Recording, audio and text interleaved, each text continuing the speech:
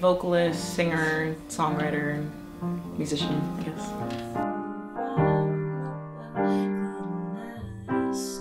I came here for the first time when I was 15 and I instantly loved it. I just knew from the moment that I like stepped foot off the plane that like this was the place for me to to settle and make my music and live and work and yeah. Feel like in the UK it's really kind of quite interesting. They're um, like being black especially they're so connected to their African culture so everyone always asks me like where are you from in Africa and I'm like I have no idea but um, I definitely definitely prefer it being here. I just feel so much more comfortable in, in a way that I never felt growing up, especially being from a place like Oregon, which is primarily white and not as diverse as a place like this, which is really comforting. Chest to chest, now we're face to face. I wanna take you away. Um, so I started posting TikToks right in the middle of the pandemic. I think now I have like 50, a little over 50,000 followers, something like that. And I think my most viewed one, it almost got to like a million views, which is like crazy to me. It was like, yeah, I of try to imagine all those people fitting in a room and it just blows my mind that like all of them have heard my voice and some of them like it. It's crazy.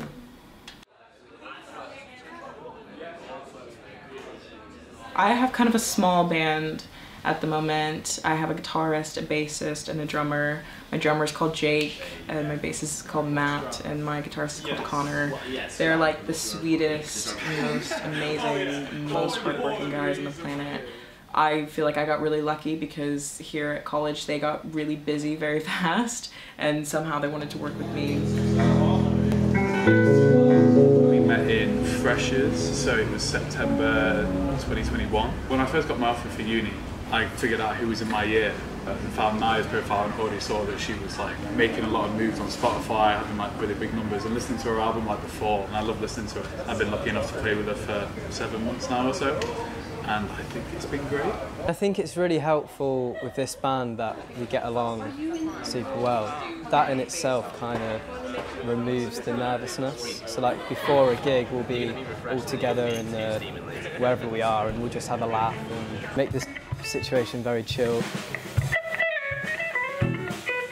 Try and have a good time and not take things too seriously. It's not really like a job at all, even though on paper I guess it is. It's an absolute joy to work with Nyah. It's, it's like a band of friends playing music that they love, even though Nyah wrote it and released it like two years ago and I just get to have loads of fun with my friends. Oh.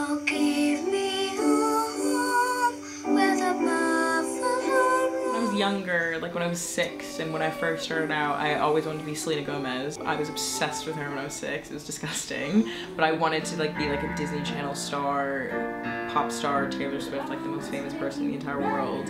And now, as like I've gotten older throughout the years, I have these little goals that I want to attain. Like I would obviously love to win a Grammy, but I would also love to do NPR's Tiny Desk. That's like my biggest goal for some reason. So it's kind of funny that like my biggest goal is something that's kind of relatively small to some people. But I feel like now I don't really, I don't feel the need to be the biggest pop star in the entire world. I just kind of want to make really good music and have people appreciate it. This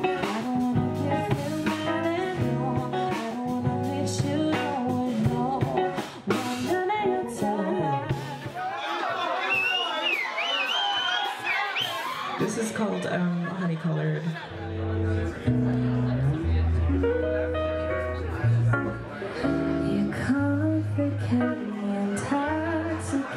I would advise for other aspiring brown artists um, to not take anyone's shit, I guess.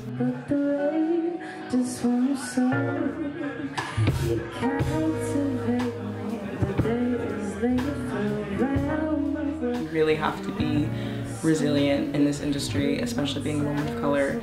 And yeah, and you work with a lot of men. I'm constantly working with men that are like 20 years older than me. And you just need to learn how to, um, how to speak up for yourself.